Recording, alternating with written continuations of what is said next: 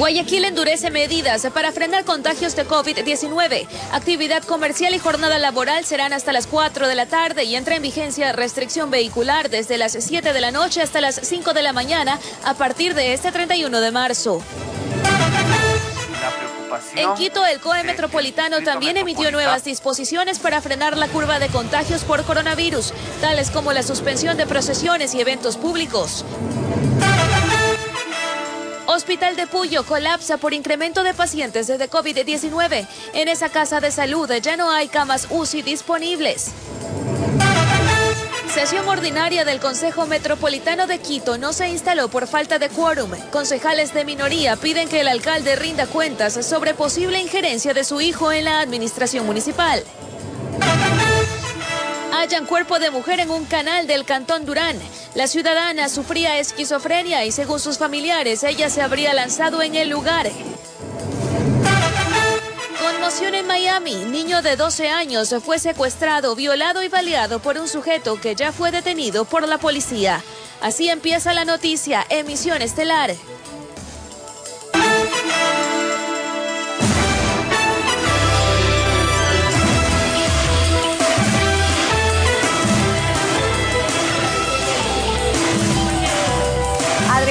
Charlie y amables televidentes, eh, qué placer contar con su gentil sintonía.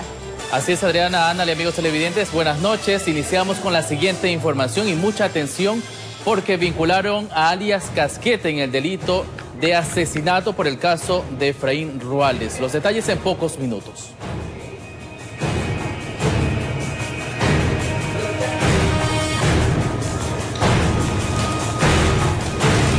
Mucha atención, la actividad comercial y la jornada laboral en el sector público y privado de Guayaquil se podrá realizar hasta las 16 horas con los aforos previamente aprobados.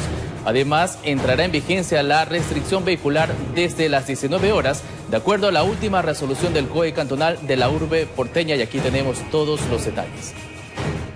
La alcaldesa Cintia Viteri justificó la solicitud al COE Nacional de adoptar restricciones más fuertes en cuanto a movilidad en Guayaquil por el creciente número de contagios de COVID-19. Asimismo, la elevada cifra de fallecidos diarios que solo este lunes en la urbe porteña llegó a un pico de 25. Por eso propuso. Queremos que se trabaje solo hasta las 4 de la tarde. De 4 de la tarde a 6 de la tarde tienen tiempo para llegar a sus casas. Y esto durante 10 días, muy probablemente en plenas elecciones, muy probablemente hasta las elecciones. De su lado, el ministro de Gobierno, Gabriel Martínez, señaló que lo discutirán en una sesión del COE Nacional. Esto de aquí es muy dinámico, tenemos que mantenernos activos permanentemente y ver cómo evoluciona, pero tenemos que revisar a ver de qué manera podemos instrumentar ciertos pedidos otros que ella puede también instrumentar porque tenemos esta dificultad con la Corte Constitucional. Y en efecto, en horas de la tarde de este martes, mediante una resolución del COE cantonal, se estipularon diversos puntos para contener la propagación del virus, estrictamente en la ciudad de Guayaquil como la regulación del horario de operación comercial y de oficinas públicas y privadas, eh, que será hasta las 16 horas, con los aforos previamente aprobados hasta el 10 de abril del presente año. Toda operación no esencial debe realizarse por teletrabajo. A la par, entrará en vigencia una restricción vehicular desde las 19 horas a las 5 de la mañana del día siguiente. Sin embargo, Viteri pidió apoyo a los alcaldes de los cantones aledaños. Si nosotros cerramos negocios a determinadas horas, ejemplo, si a las 6 de la tarde ya no hay gente circulando, y nuestras personas se van a las ciudades vecinas, a comer porque sus negocios están abiertos, a beber porque todavía se venden, pero regresan a Guayaquil enfermos, a curarse. Entonces están convirtiendo esta ciudad en un corazón que se va a cansar de latir. Estas medidas entrarán en vigencia a partir de la medianoche del 31 de marzo, informó Adriana Peralta. Mientras que en la capital, el COE Metropolitano emitió nuevas disposiciones para frenar la curva de contagios por coronavirus. Las procesiones están suspendidas, así como los eventos públicos, entre otras restricciones. Escuchemos. Ponga mucha atención a las medidas adoptadas por parte del COE Metropolitano de Quito para los próximos días, pues durante el periodo comprendido entre el 31 de marzo y el 9 de abril, ningún vehículo particular podrá circular en un horario establecido y se dispone la restricción total para vehículos particulares a partir de las 22 horas hasta las 6 de la mañana. Los vehículos de transporte pesado y comercial están exentos de esta restricción, así como sectores estratégicos y cadena productiva. Ahora que el plan no circula, seguirá funcionando como hasta ahora, de acuerdo al último dígito de las placas. Pero ¿qué pasará en el feriado del 1 al 4 de abril? Se prohíbe el consumo de bebidas alcohólicas en espacios públicos incluidos aquellos que cuentan con licencia para ocupación. En cuanto a las procesiones, en la Semana Mayor se dispuso lo siguiente. Se restringe del 1 al 4 de abril el uso de los espacios públicos para romerías, caminatas, peregrinaciones, procesiones, vía crucis barriales. El burgomaestre además recalca que se mantiene la suspensión de las actividades en bares, discotecas y centros de diversión nocturna, así como los espectáculos públicos. Y es que estas decisiones se adoptan frente a los altos niveles de contagio que en Pichincha sobrepasan los 100.000 enfermos y cuya capacidad hospitalaria está a tope. Una lista de esperas muy preocupante hacia el acceso a una cama UCI, hacia una unidad de cuidados intensivos que hoy bordea alrededor de 60 a 65 pacientes que están en lista de espera. Quienes no acaten estas disposiciones serán sujetos a sanciones, informó Marilyn Jaramillo.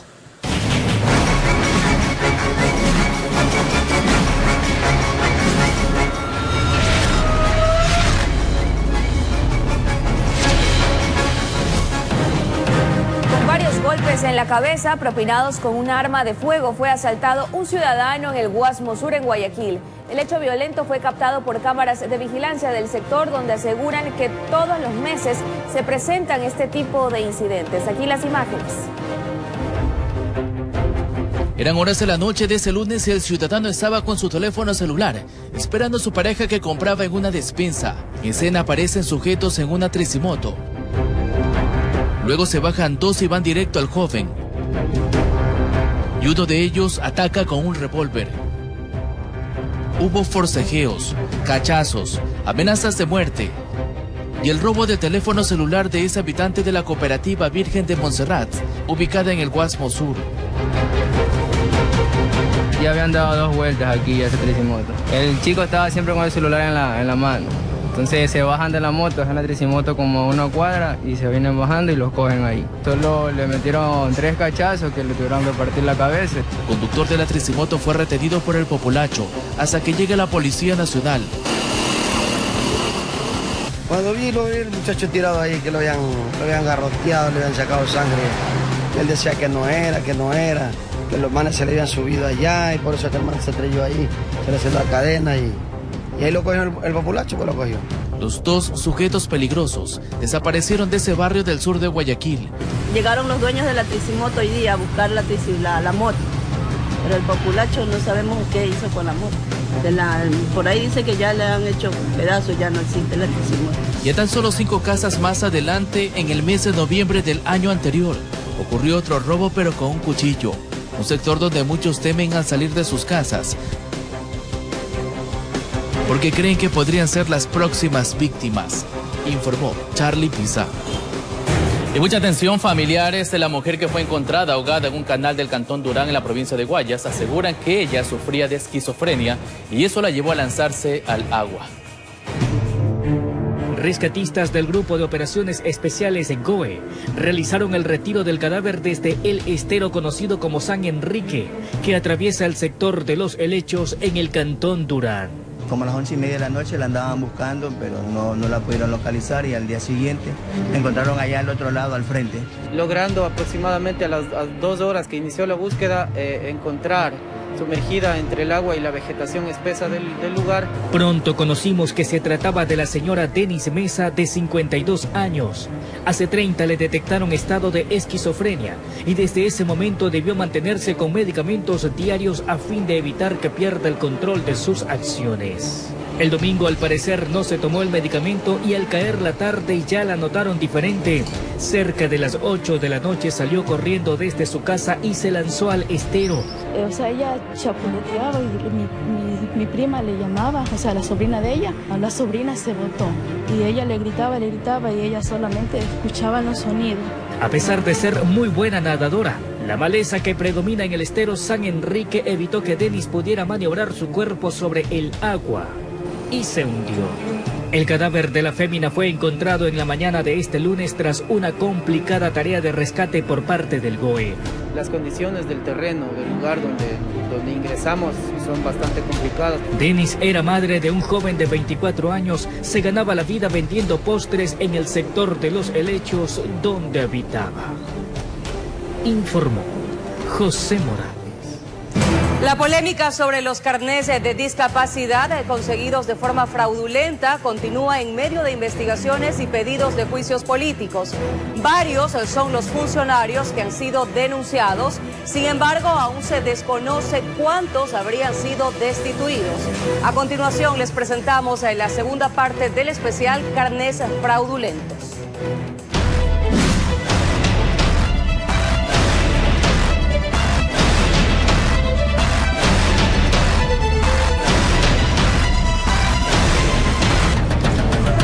Varias son las investigaciones que desde el 2020 el Ministerio de Salud Pública asegura estar realizando en torno a la obtención fraudulenta de carnés de discapacidad.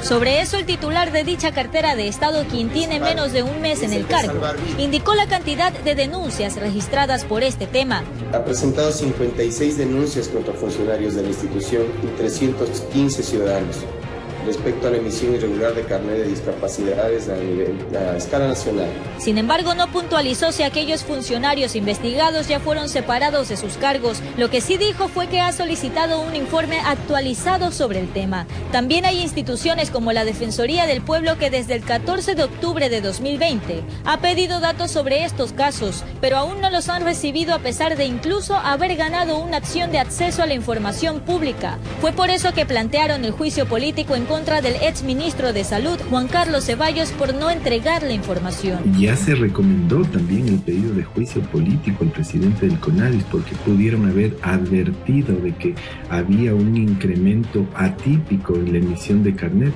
En esto coincide el coordinador nacional del Observatorio de Discapacidad, quien además considera urgente una reestructuración del Consejo Nacional para la Igualdad de Discapacidades, CONADIS. Los carnets de discapacidad ya ha sido una práctica desde hace mucho tiempo. Cómplice el CONADIS, que desde el CONADIS ya vendían los carnets de discapacidad ahora pasa al Ministerio de Salud Pública y sigue siendo uh, cómplice, ¿no? Solicitamos una entrevista con Javier Torres, presidente del CONADIS, pero aseguró que prefiere esperar a tener datos más certeros sobre el desarrollo de las investigaciones, que eso sería en esta semana. Por otro lado, y aunque parezca increíble, todavía existen quienes siguen sin poder obtener su carnet de discapacidad, como Danielita, una menor de nueve años con una enfermedad catastrófica. Su madre ha intentado hasta el cansancio conseguir el documento he intentado, pero no hay cupo, no, no, o sea, me mandan a un lado, después me dicen otro que no hay, entonces yo ya no puedo hacer nada. O mejor recordemos el caso de Mayra Santos, quien obtuvo el carné por discapacidad física y auditiva con el CONADIS, pero cuando el Ministerio de Salud asumió la competencia le redujeron el porcentaje. Me colocaron un audífono para corregir la discapacidad auditiva. Del 85 me pusieron el 75% el audífono dejó de funcionar y yo no me sané, sigo sorda. Por eso solicitaba una recalificación. Lamentablemente no pudo conseguirla ya que en noviembre de 2020 falleció por COVID-19. Mientras tanto surgen nuevamente denuncias de cantones en donde seguirían pagando por obtener el carnet de discapacidad. Sobre estos casos, el ministro de Salud enfatizó lo siguiente. Si en estos pocos días que tengo yo al frente de la cartera del Estado, tengo que separar a medio Ministerio de Salud Pública por ese tipo de actos de corrupción, se tendrán que ir. Así estarían avanzando las investigaciones sobre este tema que ya lleva un año, entre pedidos de juicios políticos, sanciones y el clamor de quienes por derecho les corresponde un carnet de discapacidad y siguen sin poder obtenerlo. Informó Celeste Dueñas. Informes de Contraloría revelan que médicos y psicólogos asignaron porcentajes de trabajo social sin ser especialistas en el área, asumiendo funciones que no les correspondían. Estas y otras anomalías son parte de las conclusiones a las cuales llegó la Contraloría General del Estado, tras los exámenes realizados al proceso de calificación para la obtención de carnés de discapacidad. Los detalles este miércoles, en su informativo La Noticia. Ahora les contamos que la desarticulación de varias bandas delictivas que venían operando en Guayaquil, San Borondón y Durán ha sido el resultado de los operativos ejecutados por la policía en los últimos días. Los agentes decomisaron armas, droga y detuvieron a varios sujetos. Estas 28 armas de fuego, 132 municiones y 93 armas blancas fue lo que encontró la policía en poder de 22 personas que formaban parte de siete bandas delictivas que fueron desarticuladas durante los operativos denominados Perla 4. Que se estaban dedicando especialmente estas, estas organizaciones a la comercialización de sustancias sujetas a fiscalización. También estas organizaciones delictivas estaban, eh, estaban cometiendo robo a vehículos y robo a personas. Además se localizó 157 paquetes con un peso de 405 kilos de clorhidrato de cocaína. Estos operativos se los desarrolló en los cantones Guayaquil, Durán y San Borondón, perteneciente a la zona 8. Especialmente están focalizados estos operativos en aquellas áreas de concentración de violencia, en donde hemos tenido estos últimos días muertes violentas debido a territorialidades en donde está como, como, como causa eh, o como motivación de estas muertes violentas es el tema del tráfico interno de drogas. En todos estos operativos, la policía detuvo a 114 personas por diferentes causas, entre ellas robo a personas de vivienda, además asalto y robo en ejes viales, tráfico de droga y armas, informó Carlos Julio Gurumendi. Y atentos porque la suspensión de clases presenciales a causa de la pandemia afectó a negocios que están ubicados en los alrededores de las instituciones educativas.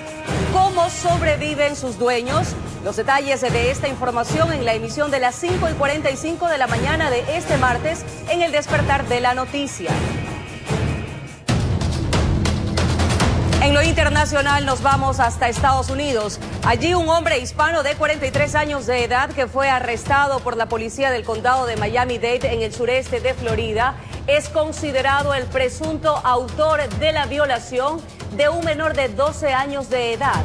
El adolescente se había escapado de su casa para visitar a unos amigos sin decirle a sus padres y ya iba de regreso cuando el sospechoso se le acercó, lo amenazó con un arma, lo obligó a subir a su auto para luego llevarlo a un lote baldío donde lo agredió sexualmente.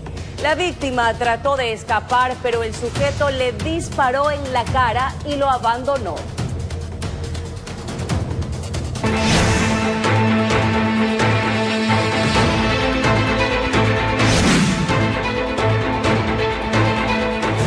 Continuamos con el tema de la pandemia y como en los peores momentos, el Hospital General de Puyo, el único centro de salud público que atiende casos de COVID-19 en Pastaza, no tiene disponibilidad de camas en cuidados intensivos en el área de hospitalización. Medio centenar de pacientes está a la lista de espera para ser internados. El panorama en Pastaza es desalentador y cada vez más preocupante por la presencia de contagios de COVID-19. Este fue uno de los temas centrales abordados durante la última reunión del COE del Cantón Pastaza, el más grande de esta provincia amazónica, donde las funcionarias del Ministerio de Salud Pública dieron a conocer que la capacidad de atención del Hospital General Puyo, el único con camas UCI, está al tope. Nos han informado claramente pues que los, la situación es bastante complicada. Existe en la sala de UCI completamente llena al 100%. La situación es sumamente grave. Al momento no hay una sola cama disponible ni en cuidados intensivos ni en hospitalización. Apenas se desocupa una, inmediatamente se la utiliza con pacientes que están en lista de espera. Hay más de 50 personas en lista de espera por eh, ingresar a las salas de UCI y eso es bastante preocupante. Esta dramática realidad hace que se corra el inminente riesgo de que se puedan perder vidas por falta de disponibilidad de camas. He recibido muchas llamadas de familiares desesperados eh, y uno hace la coordinación con el hospital y es lamentable escucharles decir, sabe que ya no tenemos disponibilidad. Pasasa tiene 2.787 casos, 87 personas fallecidas confirmadas por COVID y 72 con sospecha de haber muerto por coronavirus, informó Anabel Belín. Mientras que en Loja, cuatro cantones más vuelven a semáforo rojo por el alto índice de incremento de COVID-19. En los hospitales ya no cuentan con camas UCI disponibles. Zapotillo fue el primer cantón de la provincia de Loja en volver a semáforo rojo. A ello se ha venido sumando el cantón Loja, Celique y Catamayo. Esto por el incremento excesivo de casos de COVID-19.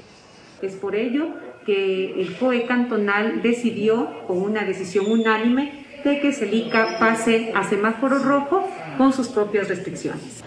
La situación es alarmante. En el Hospital General Isidro Ayora mueren a diario aproximadamente tres personas, mientras que en el Hospital del Seguro dos. Y en la actualidad no hay camas de UCI y el oxígeno es escaso. Este día hay nueve pacientes que están hospitalizados y que necesitan cuidados intensivos.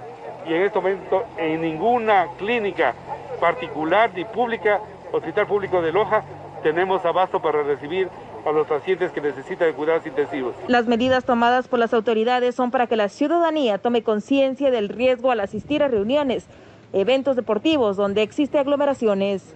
La letalidad de las personas que están en UCI ha subido a 8,5. De 10 personas, las 8,5 se mueren, que también es bastante. Los demás cantones también se encuentran con medidas fuertes y no descartan sumarse a poner semáforo rojo. En Loja informó Marcela Constante Brito. Y a propósito del aumento de contagios, el Instituto de Investigación en Salud Pública ha reforzado su capacidad de procesamiento y hasta la fecha ha realizado más de 500 mil pruebas PCR. En el laboratorio de Guayaquil cuentan con máquinas que pueden analizar entre 1.200 y 1.400 pruebas diarias. La máquina Cobas 1800 y tres termocicladoras parecen imparables en las instalaciones del INSPI. Trabajan 24 horas en los tres laboratorios de Guayaquil, Quito y Tena. Eh, la última semana procesamos 19.500 muestras y debidamente reportadas. Tenemos nuestra capacidad de respuesta que es de 24 a 48 horas. La capacidad instalada de la institución permitía procesar 400 pruebas PCR diarias. Hoy, alcanza cifras exponenciales. Hemos logrado inclusive que nuestra sede en Tena haga diagnóstico y estamos, estamos procesando alrededor de 4.000 muestras diarias. Previo al análisis final hay varias fases, entre ellas el procesamiento y la amplificación automatizada. Al inicio de la pandemia de una placa de 96 por lo menos se acercaban 80 positivos, era una cosa muy elevada. Después bajó a 20 o a 30 Hoy en día estamos bordeando los 50 o 60 positivos en una placa. Aquí trabajan 260 funcionarios.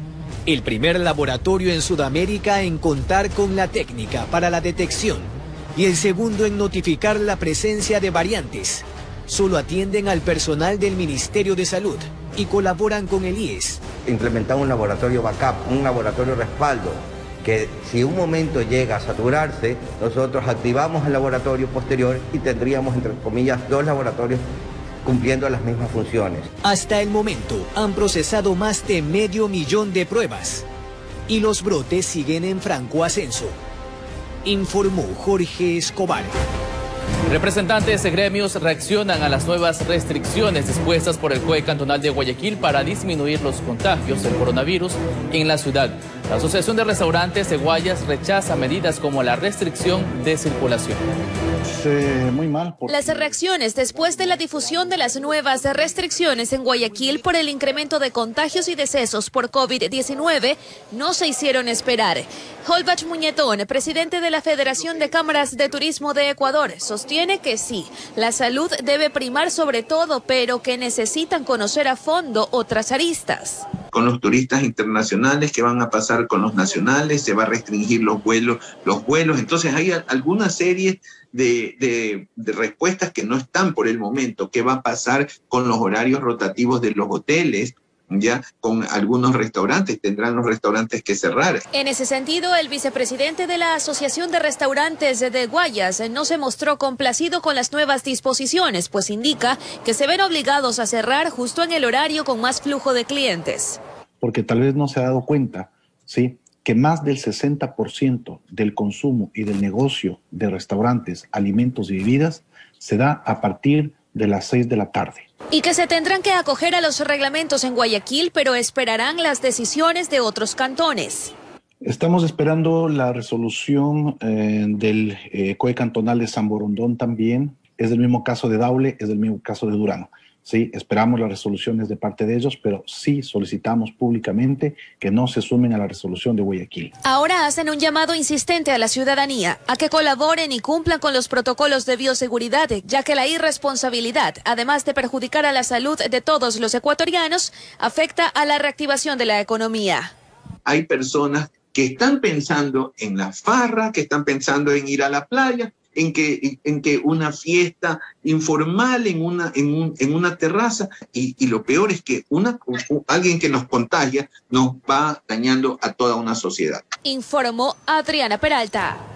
Y en una nueva etapa de la audiencia preparatoria de juicio del proceso por presunta delincuencia organizada en los hospitales del IES, la Fiscalía terminó de presentar sus alegatos. Por su parte, los abogados de la familia Bucaram y una exgerente hospitalaria afirmaron que presentarán todos los recursos legales para ratificar su inocencia. La diligencia se ha prolongado por más de un mes y medio y busca la formulación del dictamen fiscal por presunta delincuencia organizada en la venta de insumos y medicinas en los hospitales del IES. Este martes concluyó la presentación de los alegatos de la Fiscalía. Hay 19 procesados, entre ellos Daniel Salcedo y Dalo Bucaram Puley. Que el presente proceso existen forjaduras por parte de la Fiscalía, que este proceso no, no, no demuestra la realidad procesal, de que aquí se ha tratado de pescar a río revuelto. La audiencia empezó a las 10 de la mañana y se extendió hasta horas de la tarde. La defensa de una ex gerente del Hospital de los Ceibos sostiene que no se ha seguido el debido proceso. Se confunde la actividad propia de la administración del hospital con los elementos que deberían configurar una eh, delincuencia organizada. Es una tesis sin ningún sustento académico o científico y eso es lo que finalmente esperamos que el juez entienda y reconozca. Para ambos el Ministerio Público no ha podido establecer ningún nexo causal con el presunto delito. Está la certificación de la unidad de análisis financiera de la UAF, donde se determina que no existe ninguna observación, no existe ningún, ningún elemento raro en la parte económica de mi defendido. Asimismo, se determina que no existe ninguna transferencia con ninguno de los coprocesados que podemos entender como si fuera la ruta del dinero. El próximo lunes 5 de abril, el fiscal Eduardo Díaz deberá presentar su dictamen y luego el juez determinar a quienes llama a juicio informó Jorge Escobar. 22 horas con 32 minutos es momento de una pausa comercial, pero al volver vinculan alias Casquete bajo el delito de asesinato en el caso Efraín Ruales. Ya volvemos. No habrá expendio de bebidas alcohólicas los días domingos del mes de abril del 2021. En cuanto a la regulación de su venta en licoreras, depósitos, minimarkets, gasolineras, restaurantes y locales autorizados, será hasta las 4 de la tarde, sin perjuicio de la restricción de consumo por el proceso electoral del 11 de abril.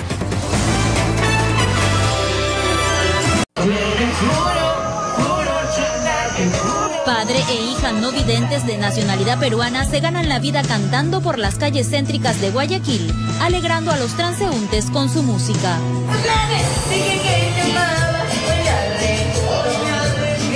Ellos quieren ser cantantes profesionales y aseguran que los obstáculos para lograr sus sueños no existen. Mientras tengamos la vida y la salud, todo se puede hacer en esta vida. Los detalles este miércoles 31 de marzo en la noticia emisión estelar.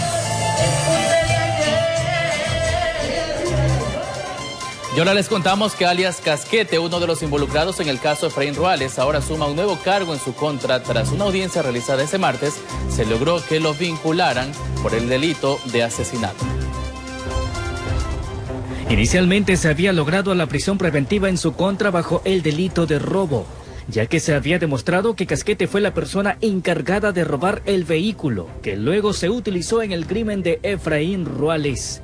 Pero este martes se llevó a cabo una audiencia de vinculación con lo cual fue posible acusarlo también de asesinato porque él, eh, de acuerdo a la información que se obtuvo, era una de las personas que participó de manera directa en el cometimiento de la infracción que es por el delito de asesinato. La diligencia se llevó a cabo en las instalaciones de la Unidad Judicial Penal número 2, ubicadas junto al Albán Borja. En esta cita también se vinculó a alias Choclo, bajo el mismo delito. La suscrita juzgadora ha vinculado a la instrucción iniciada ya a los ya procesados por el delito establecido en el artículo 140, numerales 2, 4 y 6 del Código Orgánico Integral Penal. Hasta el momento existen cuatro personas procesadas por el crimen ocurrido en contra del comunicador. Entre los acusados se encuentra un menor de edad. Con esta acción, el proceso de instrucción fiscal se extiende durante 30 días más. Estamos bien en la línea de investigación, eso no lo puedo revelar todavía, pero estamos trabajando bien y eh, dentro de esa línea de investigación se encontró el arma, el arma era la que fue utilizada en este evento delictivo. Informó José Morales. La sesión ordinaria del Consejo Metropolitano de Quito no se instaló por falta de quórum. El bloque correísta no asistió a la convocatoria. Los concejales de minoría piden que el alcalde rinda cuentas sobre la posible injerencia de su hijo en la administración municipal. Con la inasistencia de los concejales de la bancada correísta, la sesión del Consejo Metropolitano de Quito de este martes no pudo instalarse por falta de quórum. Sírvase sentar la razón de no instalación de la presente sesión. Gracias. Se toma nota, muchas gracias. Esto generó críticas de nueve ediles de diversas bancadas, quienes sí asistieron y que pretendían incluir un punto de orden en la sesión respecto a los últimos acontecimientos que involucrarían al hijo del alcalde en temas de la administración municipal. Aquí no es un tema de atacar, es un tema de resolver una situación que necesita lo antes posible ser resuelta, ser atendida. Y nosotros estamos aquí para dar la cara, porque la ciudadanía nos eligió para eso. Este grupo de concejales pide que el alcalde rinda cuentas. Días atrás enviaron una carta formal al burgomaestre para que dé un paso al costado mientras resuelve su situación judicial. Que pese a sus investigaciones, a las cuales él tiene el derecho de defenderse, como cualquier ciudadano, pero que eso no interrumpa el desarrollo de la ciudad de Quito. La postura del bloque correísta, según la concejala Luz Elena Coloma, responde a varias intenciones. Que se quiere evitar justamente que el Consejo se pronuncie o los concejales nos pronunciemos ante lo que está sucediendo. Complicidad, protección. El bloque de la Revolución Ciudadana se pronunció en un comunicado. Asegura que ninguno de sus integrantes tiene intereses en disputar el espacio de la vicealcaldía, mucho menos el de la alcaldía. Además, exhortan a las autoridades de la Fiscalía y Contraloría para que lleven adelante los procesos necesarios. Sobre el pedido de remoción del mandato al alcalde que presentó un colectivo ciudadano, señalaron los ediles que el Consejo aún no ha sido notificado porque el trámite tiene que pasar por un proceso administrativo. Tiene que la comisión de mesa calificarlo y eventualmente llegar al Consejo para darle aquí el tratamiento que se merece. El alcalde Jorge Yunda abandonó la sesión sin pronunciarse sobre lo que ocurrió en esta convocatoria. Informó Priscila Cadena. Y en otro tema, los puertos y aeropuertos del país implementarán nuevos equipos tecnológicos para evitar el contrabando y narcotráfico. La decisión se dio en el marco del acuerdo de principios entre los gobiernos de Ecuador y de los Estados Unidos.